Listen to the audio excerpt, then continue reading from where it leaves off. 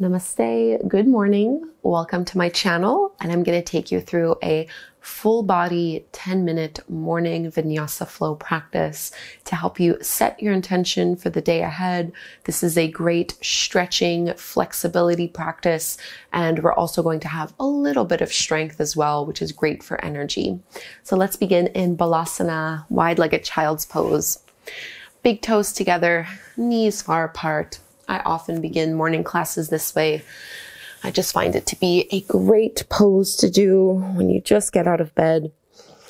So choose the distance that feels the best to you with your knees as you send your hips back towards your heels and melt your heart down. Keep some length in your neck so you're not hiking your shoulders all the way up to your ears.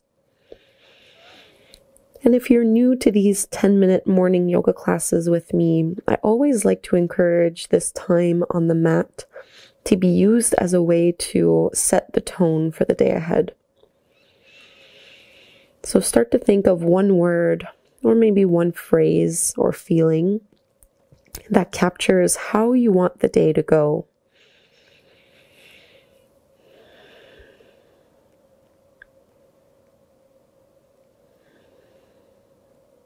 Take three deep breaths in the pose.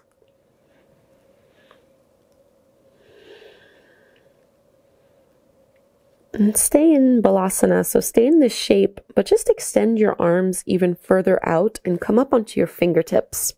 So your elbows and arms are no longer touching the mat.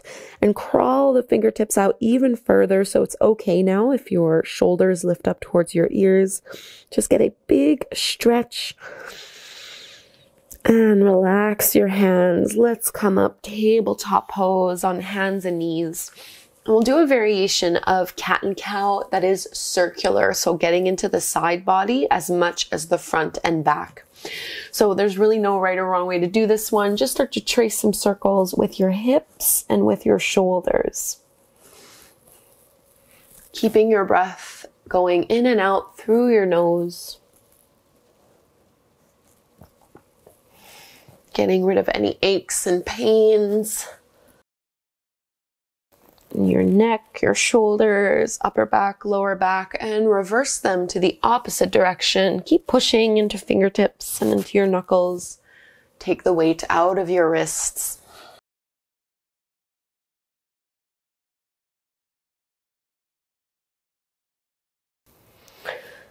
Coming back through to center, let's find Adho Mukha Svanasana or downward dog. So walk your hands a couple inches past your shoulders before tucking your toes under and lifting your hips up and back. So we're trying to curl our tailbone up towards the sky while pressing our chest towards our thighs. Don't worry about having your heels touching the mat at this point, especially if you've just woken up. Hamstrings are probably quite tight. Uh, let's inhale forward into your plank pose, strong through your belly. Hold here. We're going to lower all the way down. Bhujangasana, cobra pose. Roll your shoulders back. Keep your elbows bent as you hug them in towards the ribs. Exhale to release. Come all the way back up. Downward dog. Lifting up through your hips. Let's reach our right leg up towards the sky. Bend your right knee. Open up your hip. Get a big stretch here as you try to lift your knee up as high as it can go. Ashta Chandrasana, our high crescent lunge.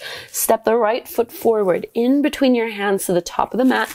You want your feet to be hip width distance apart as you stretch and lift on up. Draw your lower belly in, lift out of the low back. Keep everything facing forward as you sink your hips low. Adding a twist from here, reach your left arm forward, right arm back. As if you're pushing the air down.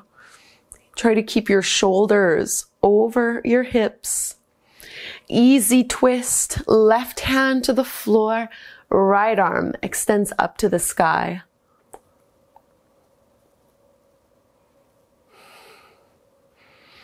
Parsvottanasana, you're going to frame your front foot, let your right hand come down and straighten your right leg any amount as you fold down towards your shin and knee. You might need to bring your back foot in a couple inches.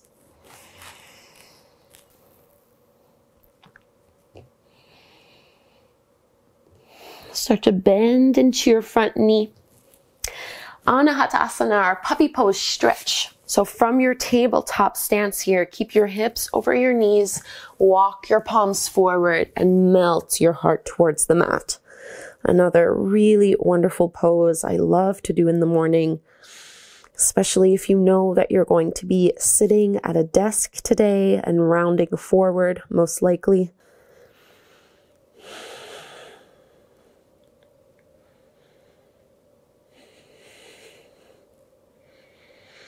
Come forward into your Sphinx pose, onto your belly, open up through your chest.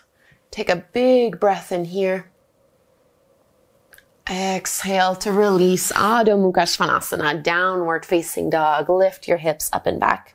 Let's explore same thing on the other side. Reach your left leg up. Start to bend your left knee and open up your hip nice and wide.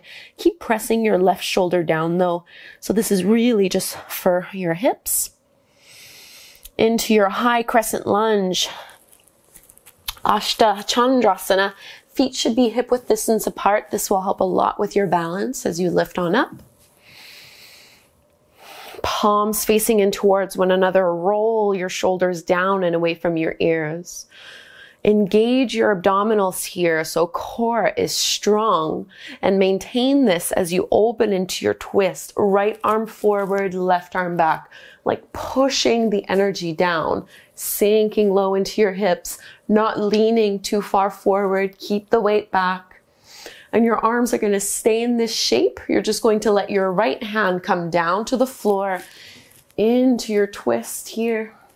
Only looking up if it's okay for your neck. Otherwise, leave that out. pyramid pose. You can circle that left hand down, start to straighten that left leg any amount. You might need to bring your back foot in a couple inches, folding down. Parsvottanasana.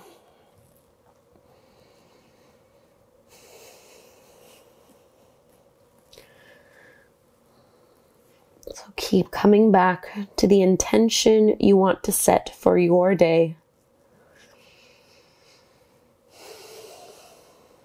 using this time on the mat for clarity. Bend into that front knee. We're going to find our tabletop pose for our puppy stretch, Anahatasana. Keep your hips. So make sure your hips aren't going back like a child's pose. You really want to maintain this alignment and walk your hands forward. If you'd like to do this one a little differently this time, you can press your hands together, bend your elbows and bring your palms towards the back of your neck back of your head.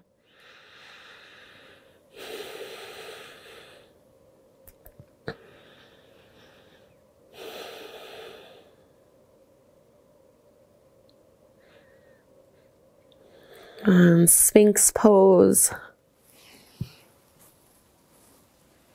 Think of pulling your heart forward.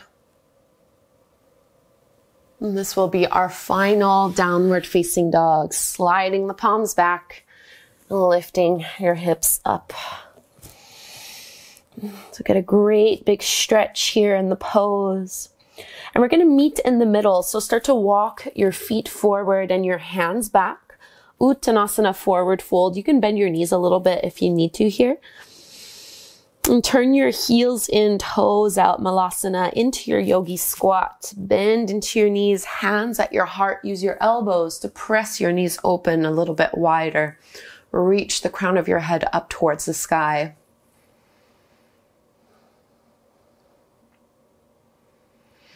And sitting your hips down, extend your legs out in front of you. We're going to take a forward fold. I like to do this more in a yin style, so making it a passive forward fold in the morning, just because muscles tend to be really tight, so it's hard to um, engage properly. That's just how it feels the best for my body. You're welcome to do something different, but you can let your knees bend a little bit and just naturally let yourself round and soften into it. So a big stretch along the posterior chain. Those are all the muscles, everything along the back of your body, from the crown of your head, down the spine, down the back of the legs.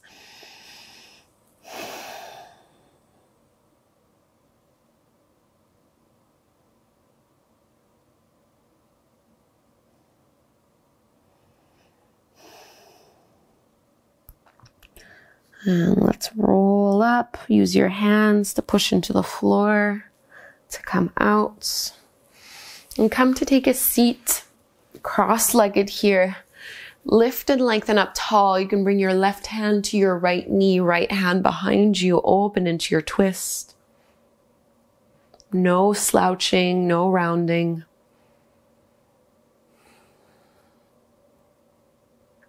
Uh, second side, right hand to your left knee, left hand behind you, open it up.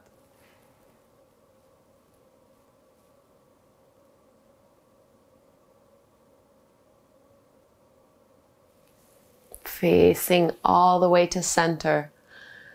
Close your eyes, rest your hands on your thighs or your knees, sitting up tall.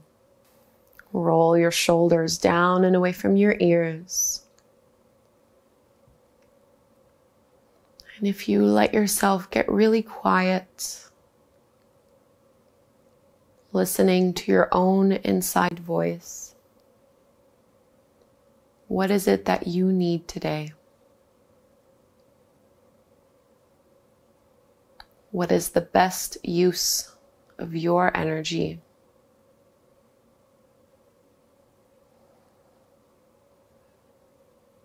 maybe choosing a one word reminder that captures this.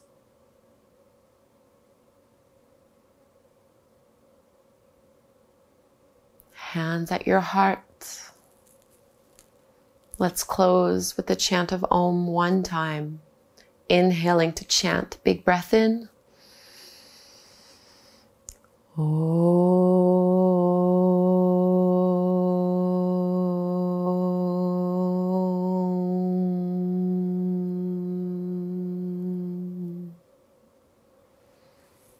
Namaste.